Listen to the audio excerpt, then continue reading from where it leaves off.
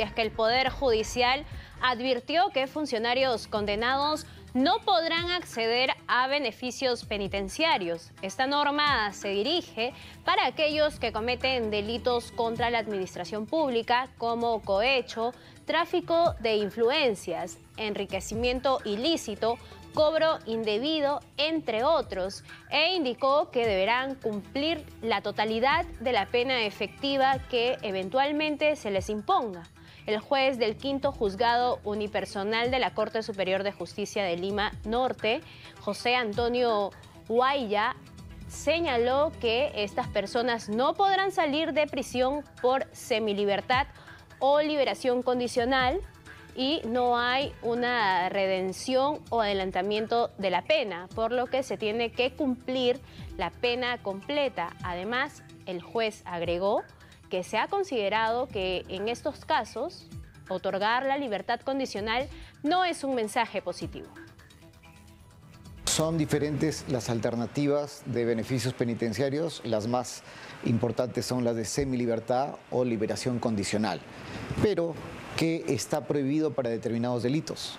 Son muchos los delitos de los cuales no proceden los beneficios penitenciarios, sobre todo de semilibertad o liberación condicional.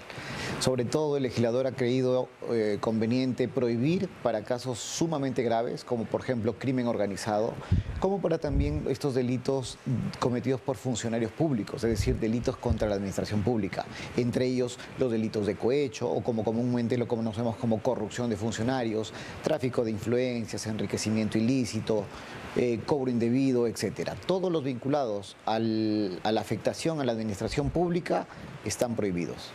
Son mecanismos político-criminales que ya el legislador ha evaluado. Considera pues que en este tipo de casos la libertad condicional no está siendo eh, un mensaje positivo para estas personas que cometen el delito.